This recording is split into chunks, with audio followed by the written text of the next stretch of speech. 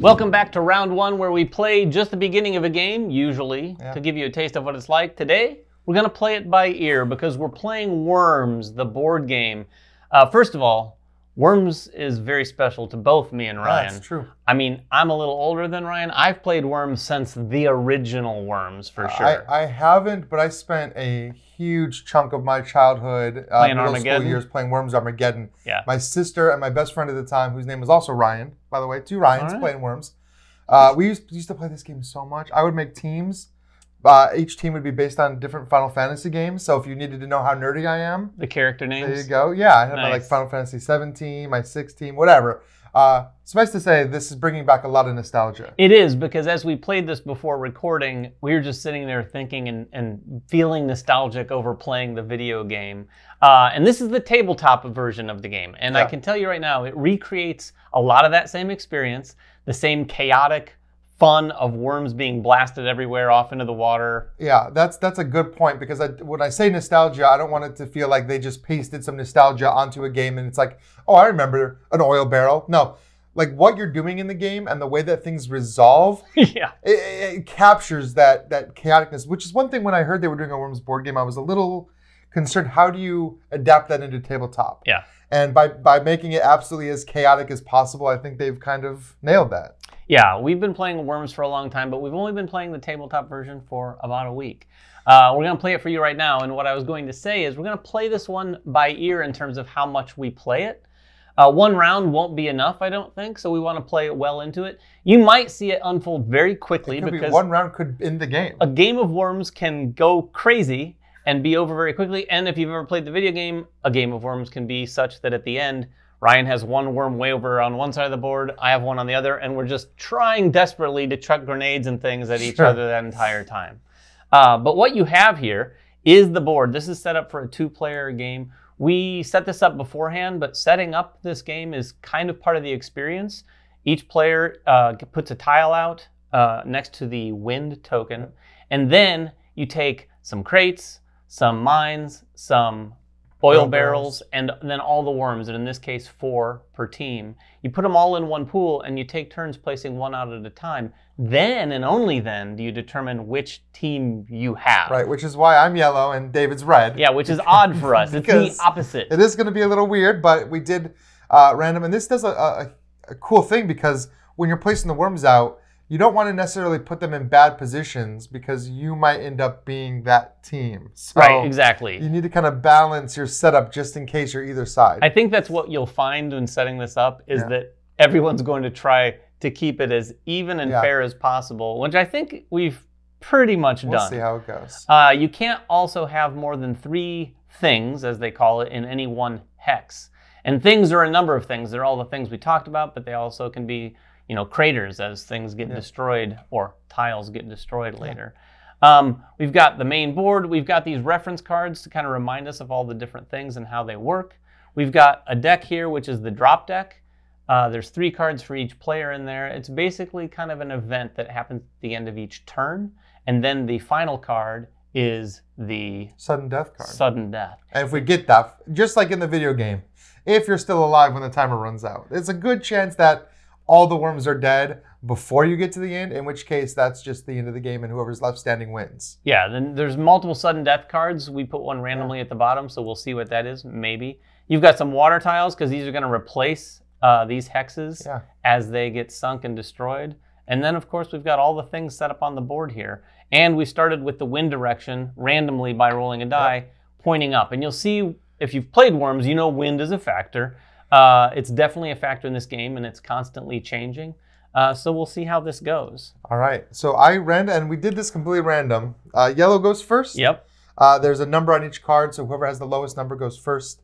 So in this case, uh, yellow does go first. So I'll just go ahead and jump right in and kind of explain the things that are happening uh, as we do it. The first thing you always do in your turn is activate one of your worms. Now, there's no order to this. You don't have to activate all of them before you go back. You could literally just activate one worm throughout the entire game. Uh, I'm going to choose this worm right here for a couple reasons. First of all, if you activate a worm in the same space as a supply crate, you get to pick up that supply crate. That's good because we start with a hand of five basic items or weapons. Uh, they're not all weapons, some of them are defensive. Um, but we start with four of the same and then one random one. Yeah, these are the four of the same anyway. Oh, I shouldn't show my random one. Oh, I could have taken a peek there.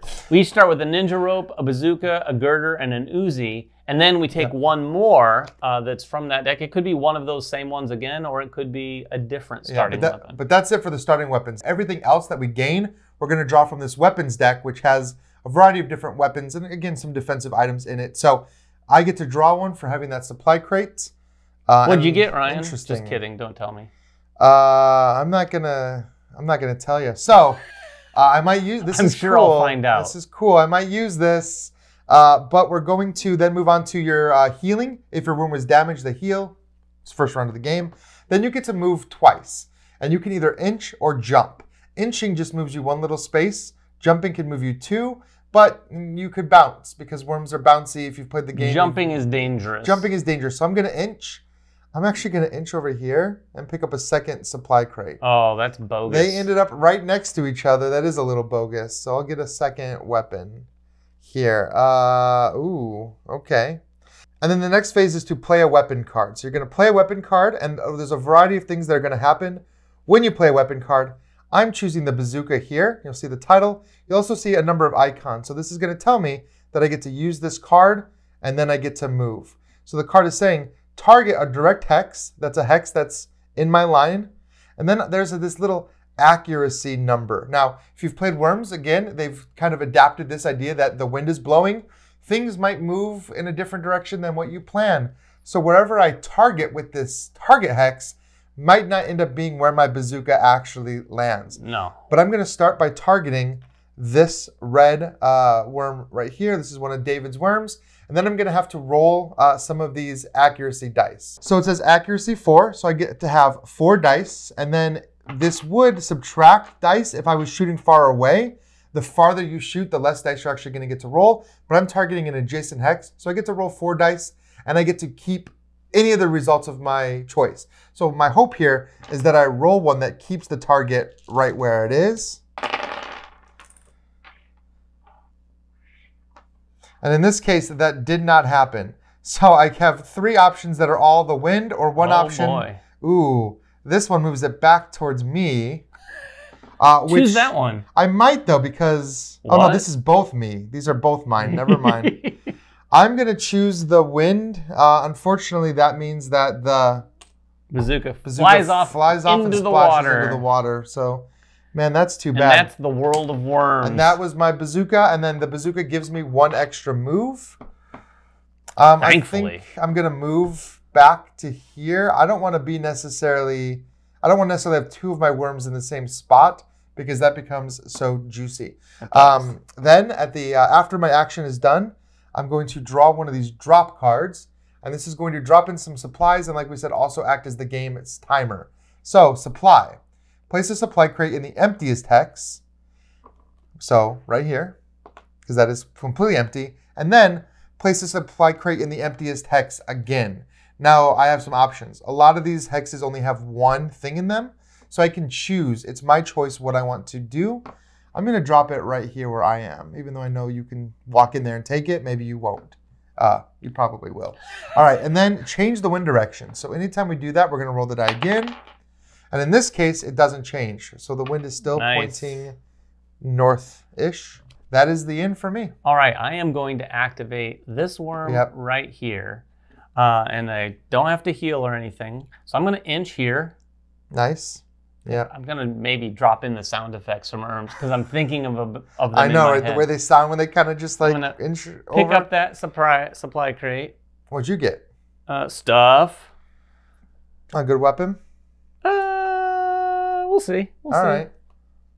Uh, and then I'm going to inch back. Okay. Then I am going to, oh boy. What do you got? What do you got? Lean into that chaos. I'm going to bazooka Oh. this hex. I'll show you how a bazooka's meant to be used. All right, Ryan. maybe. You've still got only four accuracy dice. Maybe you'll roll four wind dice as well. We'll see what happens. Ooh. So two wind dice, a four or a five. Four or a five? Oh, a So five. moving here to where we both are, moving down here to the mine, or it's Hmm. following the wind and it's going. You know what? I'm gonna play the You're gonna come down game. to us. I'm gonna choose the five so that, that it's gonna move the target to here. Oh boy. The right side. Yes. Yep, that's the right side. Moves the target to there, and then uh, it says blast hex. Yeah. So, So- the first thing we're gonna do is put a crater token in that space. Uh, a crater token uh, is a thing. It takes up one of the three possible spaces. If there's ever three of these on a hex, it gets turned into water. And then everybody that's on there gets blasted away and damaged.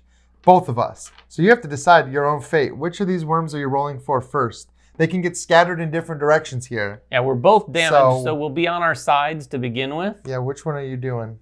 And I'm gonna roll me 1st We're gonna roll you first, this red Yeah. one. Six. Not bad. Nope. Right over here. He's safe. And then me. A two. Hey! Bounce this way.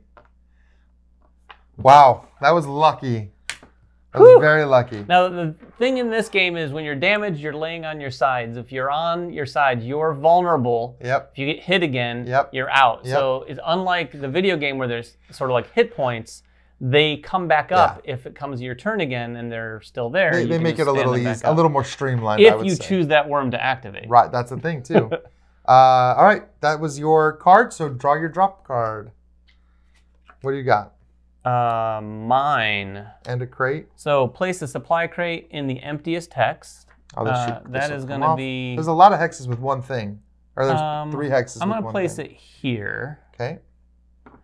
Um, and then place a mine in the same hex. Then change wind direction. Ooh.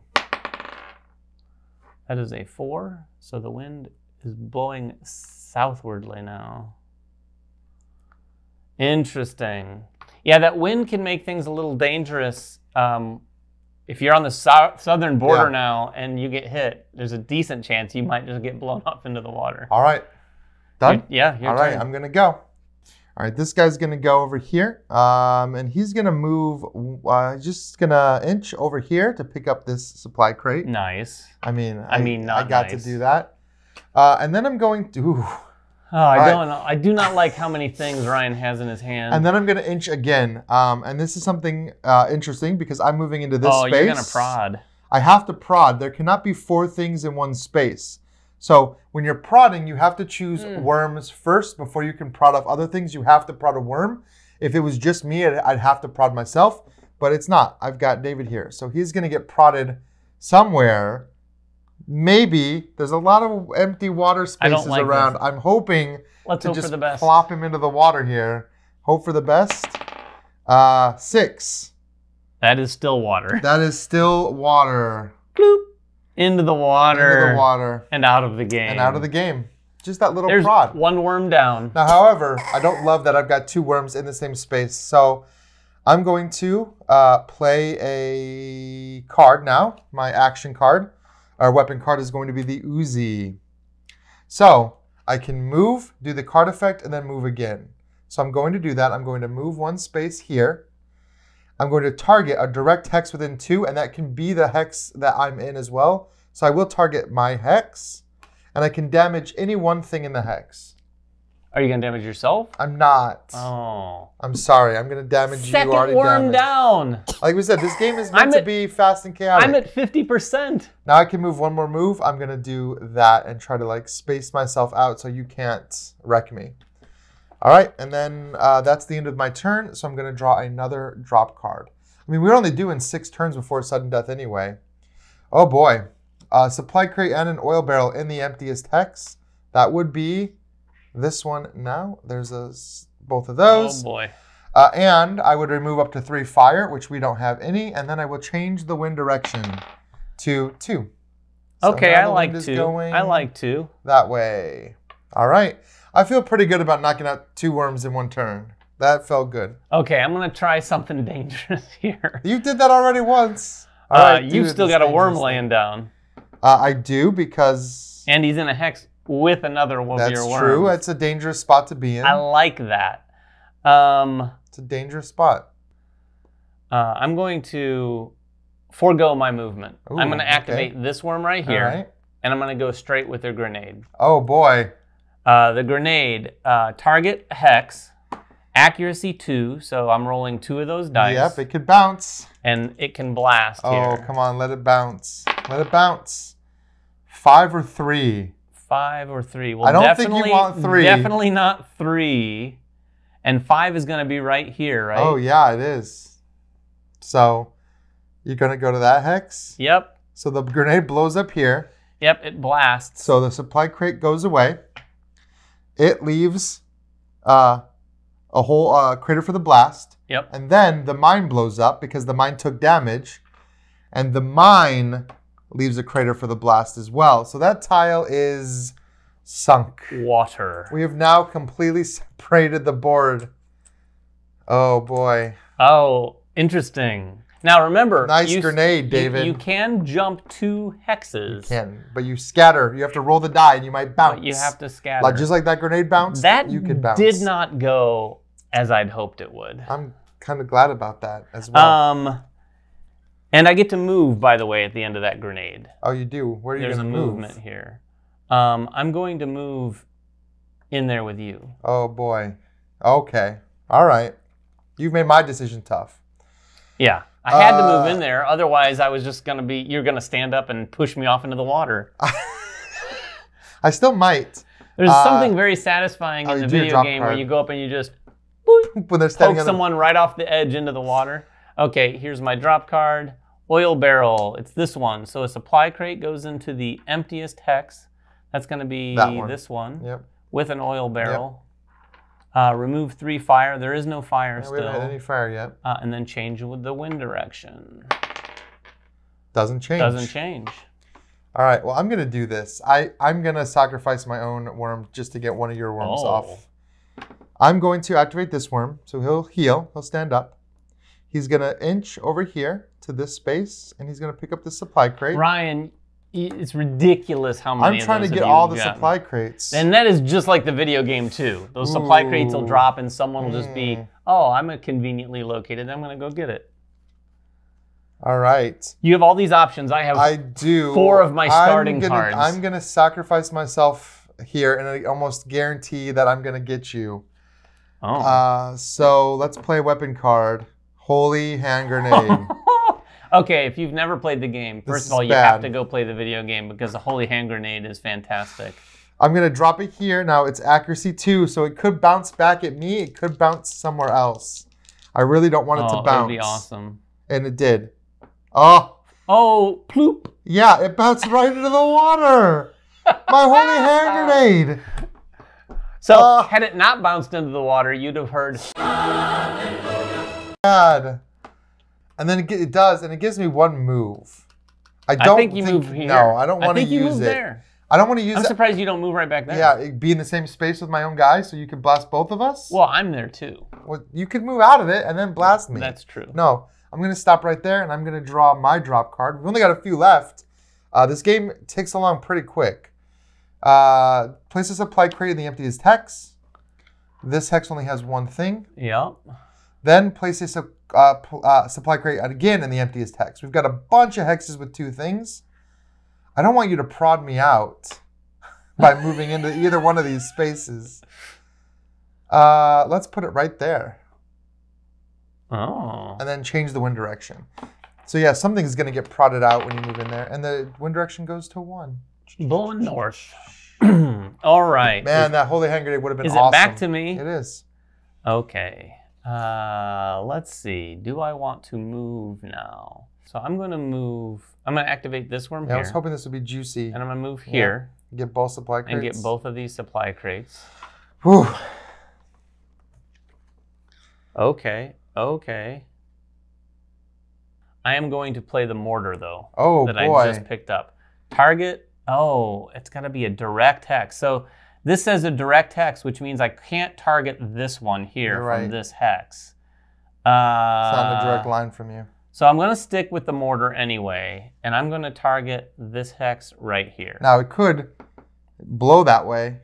It could. Oh, but it wouldn't go two. Anyway, Oh, that's right. You're right. I could target this hex, you could. and hopefully, because it's going to scatter. It is. Mmm. You could do that. You could target this hex with it and hope the wind blows them mortar. I am going to do that. That's a big part of the game because you've got the wind in your favor right now. Exactly, exactly. I'm going to target this hex.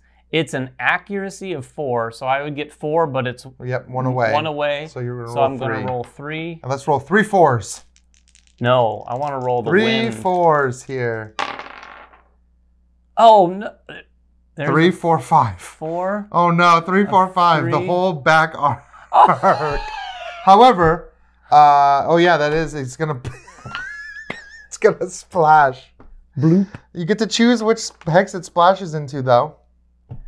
Uh, then you don't scatter it again and No, blast 'cause the hex. Oh, you would scatter. So it does because of this. Um, so accuracy four, you rolled it. It scatters here and would blast this hex, which is water. However, this one actually scatters again. So you do have a chance. Now, you're probably not going to hit anything but that tile.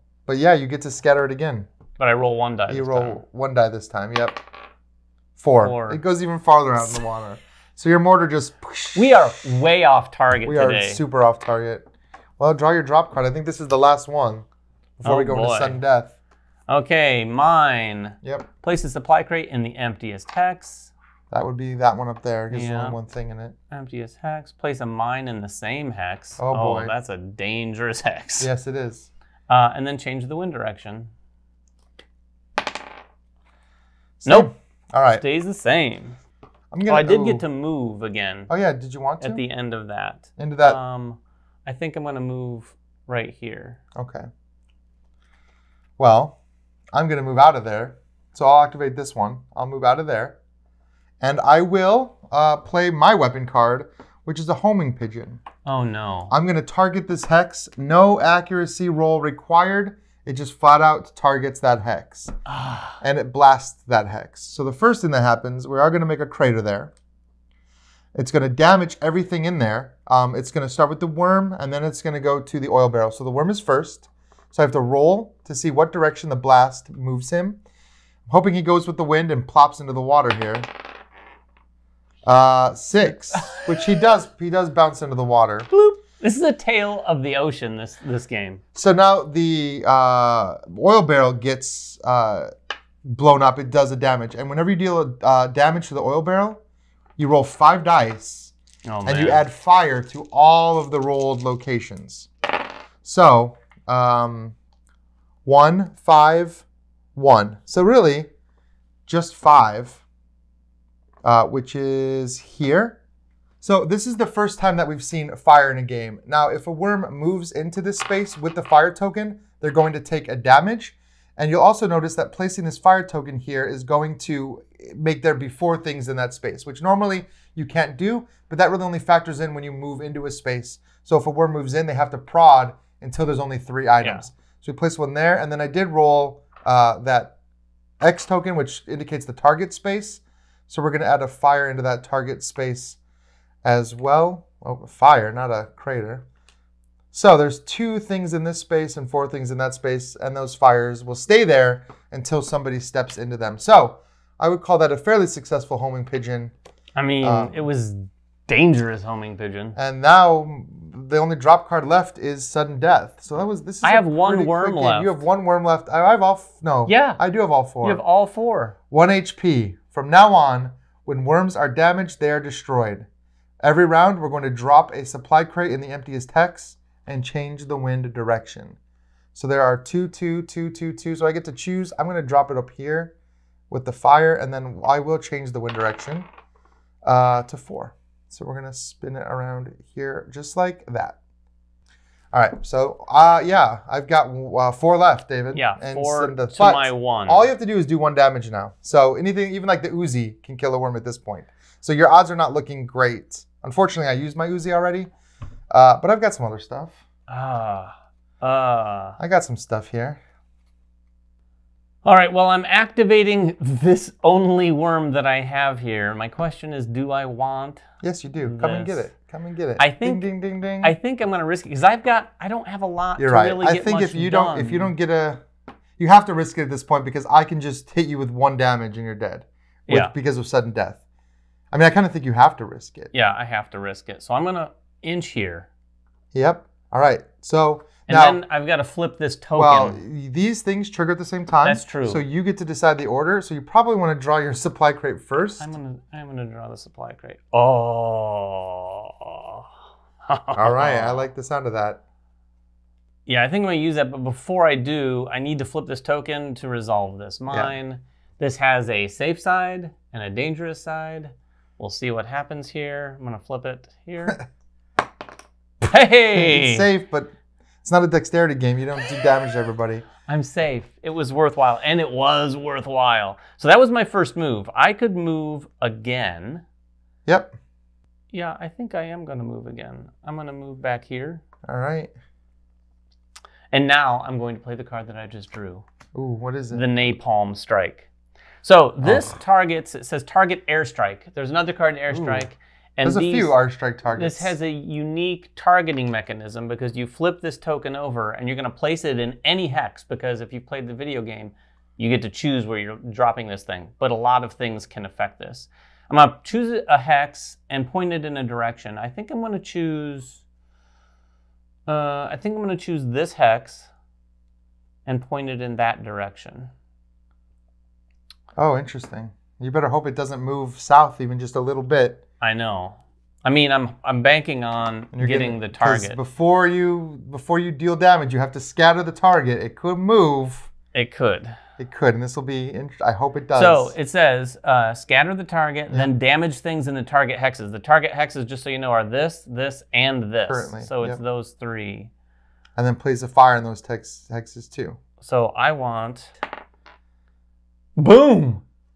That's on target. Yeah, that is on target. So target. So the only things that would have been well, there could have been a lot of things that went wrong here. Yeah, no, that's On target. A That's about five would have been okay. A two would have been okay. A target is the best possible scenario, though. So now it's going to I would have rather had a one. all. Yeah, of course, or the wind. Um, yeah, wind would have been damage nice things actually. in this hexes. So No, I think it's worth noting now. We should say uh, the majority of this dice is either wind or stay where it is. So even though we haven't seen those a lot, you, uh, probability says that you kind of know where it's. You can kind of predict where it's going to go. Wait, what happened? Oh, damage things in both hexes. Oh, that also means these things yeah. So are going to blow up too. the the worms are gone because they have one hit point. And place fire. So we've got fire from that, fire from that. And now we have to blow up those barrels. Which one are you doing first? I'll I'll do this barrel here. Uh, so there's fire already there. There's fire already in the wind. Well, there's fire actually already all, all the spots that can be All those fire. So never mind. What do we even need to roll? but that's Because these are both going to blow up and they're going to spread fire everywhere. But there already is fire everywhere. So Whew! Well, it's not as bad. I still think I'm about to lose Yeah. because all you need to do is one damage. Did you use your Uzi? uh, I did use my Uzi. The Uzi is one of the few things that's like a guaranteed hit. Um, so we'll have to see this. And Ryan's probably well, you're probably gonna move over here. Um, well, here's what I've got. Oh wait. Uh, Oh, yeah. Did anything happen? Oh, we have to place a supply crate on the emptiest. Yep. That would be Yeah, here. that makes sense. Or I guess here. And then change the wind direction. Uh, and change the wind direction. Where are the dice? Yeah, I think I do. I, I, Change the direction remains the same. I do have one more weapon. oh, you do. I have. So one of the cards I drew earlier was a jetpack, which would have been great to fly across the map. Oh, that would've been I had my girder, my ninja rope. So I was going to use the ninja rope because the ninja rope lets you play another card. yeah, I had a lot of stuff that was defensive. Um, but what I have left here, I will activate this worm and drop a mine. Target your own hex. So at the end of my turn, if there are no worms in the space, it just drops a mine like normal. However, if there are worms in the space, the space gets blasted. Oh. So I am going to move out of that space. And I'm done. So this is going to get blasted. So we're going to blast you. You're going to take a damage either way, but I do want to Yeah. see which way your body flies. that is always the fun part. This way. Three. Oh, right. Right in- towards me. But you take a damage from the hit. my worm body flies right into your area. This would have been interesting if you had lived, because then there'd be four things in the hex. But Oh, that would be. but it didn't happen Yes. because you blow up. That was at least I got two of your worms. Uh, you did, and that was quite a big. That whole area of the board is just on fire right now. Yeah, and again, this is just a two-player game. So in four players, there's going to be two more of these tiles Yeah. and a whole bunch more worms. Yeah. It's going to be very chaotic. Um, plus, you're going to have a lot more targets to. Oh around. yeah, for sure. I really want to play this with the with the bigger map, and also I've heard that they are uh, going to be introducing some new tiles and some new kind of map designs for the Kickstarter as well. So that'll be really cool. Yeah, it'll be really interesting to see. If you have any questions about this at all, I mean, you saw everything. Usually we in round really- one, we do a wrap up, but We- you saw every you did see everything. minute. I will. I will say, um, from my perspective, uh, and to address concerns, I think maybe from some gamers out there that are like me. Maybe this is my love of worms, but when something happens, like I throw the holy hand grenade and it bounces into the water, it doesn't feel bad. No, because it's just like worms. Well, and also I'm seeing you miss a mortar. I'm seeing you miss, you Yeah. know, your your your uh, ro- or bazooka. I'm seeing like so everybody is missing. It's not like you know, it's rare that you're going to be the most punished person at the table. Right. It's just a it's just a whole bunch of everyone going around making mistakes and screwing things up and maybe even accidentally blowing up their own worms, uh, which is a- Yeah, which is cool. It's it's thematic if and it didn't have that, it wouldn't be worms. Right, and, and I know we, we've said that a lot in this video. And if you haven't played Worms, uh, hopefully this game still appeals to you from that sense of like if you just want to see crazy stuff happen on the board, as you've seen, like, and, and it's so like you can be down one to four, and like David took out two of my worms in one go. Yeah, crazy So- things can happen because he, if he didn't have that particular card, uh, in one of our warm-up games, I opened with a Molotov cocktail and threw it one space away, and the wind blew it right back at It's- me. And I can't tell you how similar that is to things that happen in the Well, video. yeah, rolling that holy hand grenade and watching it roll past Bloop, bloop, and then bloop just go into the down water. that hill into the water. Yeah, you're like, oh no.